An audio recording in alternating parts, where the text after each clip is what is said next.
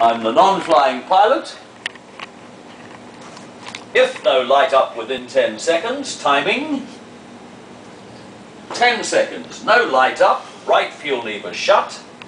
When I hear the word shut or confirmed, I will carry out that action. Memory items completed. Flying pilot will think, crikeys, I've just lost half my power. And if my power levers are not in detent, I'm going to increase the power that I've got. At 160 knots, my power normally is 40% torque. Right? Yes. So, I'm not going to sit there with 40% torque because if I do, what is going to happen to my speed? My speed is going to gradually, gradually, gradually, gradually, gradually come right back. If it comes back, now I've got to work hard to bring it back up to what I want, so I don't let it drop off in the first place. I say, crikeys, I've just lost half my power. I'll take 75% torque.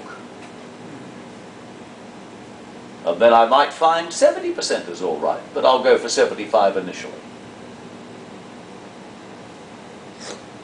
Or if I was in a critical situation where I have just collect, selected climb on the ERP and climb part is set, I'm in IMC conditions in the climb out in the very early phase, I would say select ERP to go around and get maximum power until I work out where I am and what I'm doing. Or I might be in visual conditions and quite happy that I've got terrain clearance. I would then probably say select MCT and adjust. So it depends. If I was at flight level 250 and I'm just about to start descent, I would say leave it on cruise. So you have to think of the circumstance that you've got. All right. At 160 knots, controllability is no problem at all. Very, very easy to control, even down to 140, 130, it's still quite okay. On takeoff with a heavy aeroplane on a hot day, it is a bit of a handful, and you have to work reasonably hard to fly the aeroplane accurately. Flap 5 is better than flap 15, of course. Flap 15 is more difficult for two reasons. One, you have a lower V2, and the lower the speed, the less slipstream over the empennage, the less strips, uh, slipstream over the rudder, the bigger the deflection of the rudder to counteract the asymmetry. And of course, you get more drag with flap 15 than you get with flap 5, so the performance is not as good either.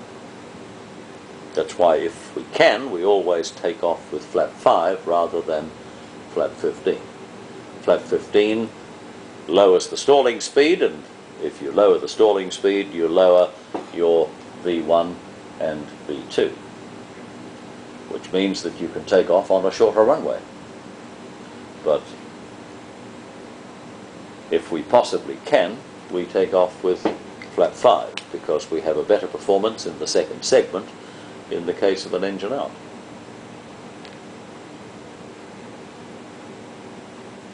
All right, so we check the controllability of the aircraft at various speeds. We're going to deliberately slow the aircraft down uh, with some flap in the landing gear to show you that it is a lot more difficult to fly the aircraft on one engine at low speed than it is to fly the aircraft